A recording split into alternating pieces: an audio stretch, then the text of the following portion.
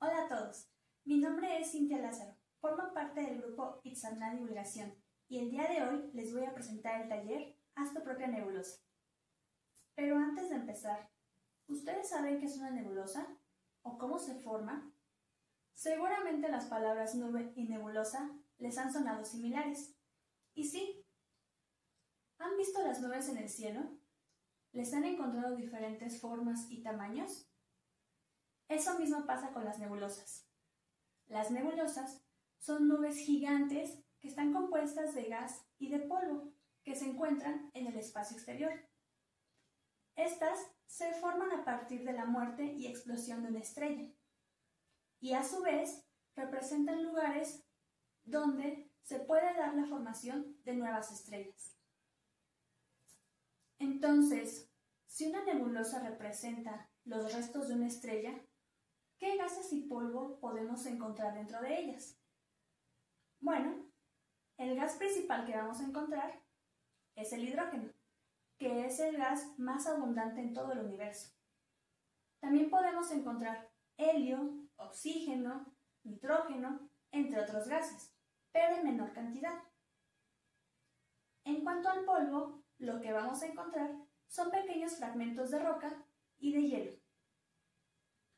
Las nebulosas tienen diferentes características. Su tamaño, sus colores, sus formas. Es por esto que existen principalmente cuatro tipos. Están las nebulosas de emisión, las nebulosas de reflexión, las nebulosas oscuras y las nebulosas planetarias. Las nebulosas de emisión contienen en su interior estrellas que se han ido formando. Estas estrellas le dan la energía suficiente para calentar el gas alrededor y poder emitir su propia luz. Los colores que vamos a ver principalmente aquí son colores rojos o rosas, debido a la gran cantidad que tienen de hidrógeno. Ejemplos de este tipo de nebulosa son la nebulosa de Orión y la nebulosa del Águila.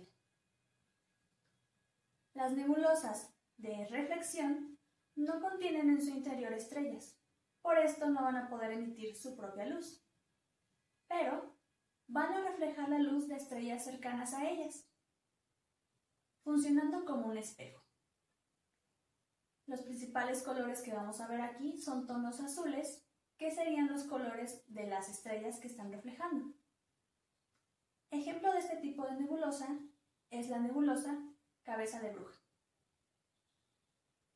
Las nebulosas oscuras contienen una gran cantidad de polvo y de gas, impidiendo que la luz pase a través de ellas, más bien absorbiéndola. Es por esto que se ven como manchas oscuras en el espacio.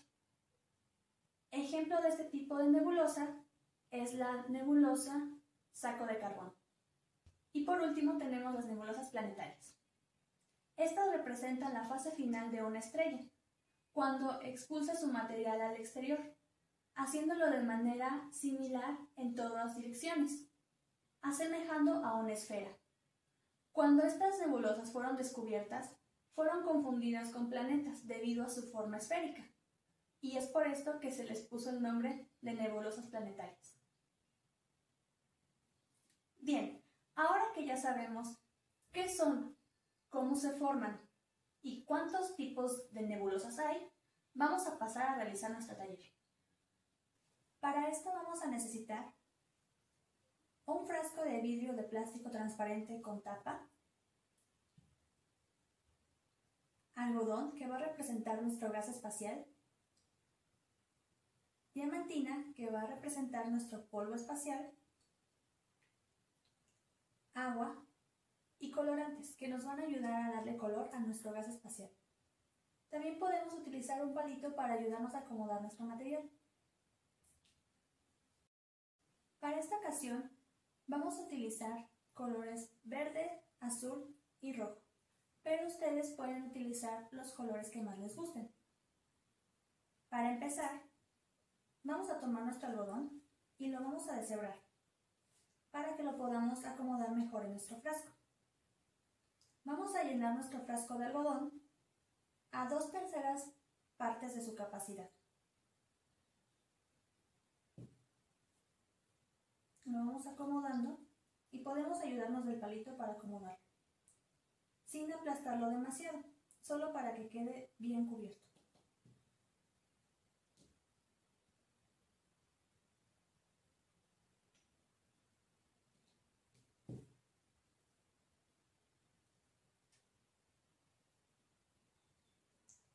Una que lo tenemos así, vamos a agregar un colorante.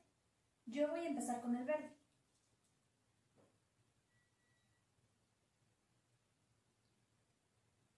Vamos a procurar de que se moje todo nuestro algodón y que llegue hasta el fondo del frasco. Ahora vamos a agregar polvo espacial.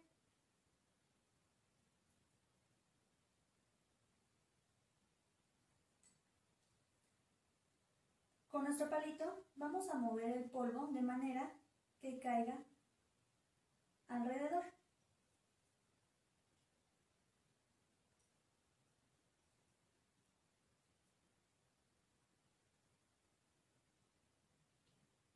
Si es necesario, agregamos un poco más de colorante. Ahora, repetimos el proceso agregando más algodón hasta llenar nuestro frasco. Sin aplastarlo demasiado.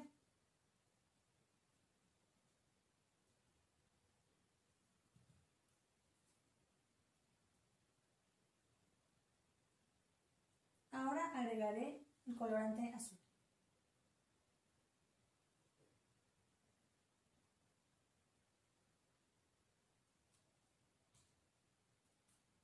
Agregamos más polvo que caiga por las orillas de nuestro frasco y con nuestro palito lo vamos a acomodar.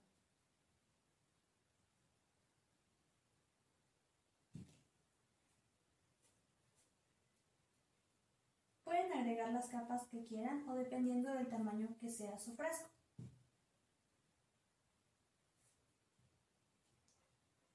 Ahora voy a utilizar el colorante rojo.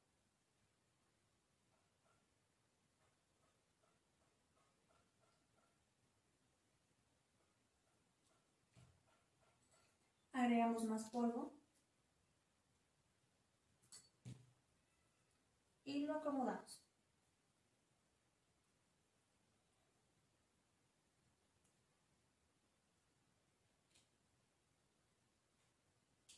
Aún me queda un poquito de espacio, así que voy a terminar con un poco de colorante azul.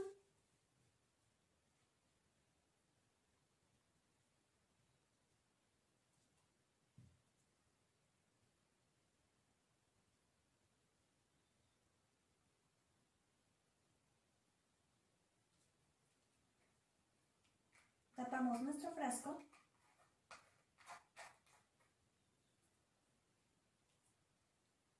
Y aquí está nuestra nebulosa. Espero que les haya gustado este taller. Muchas gracias.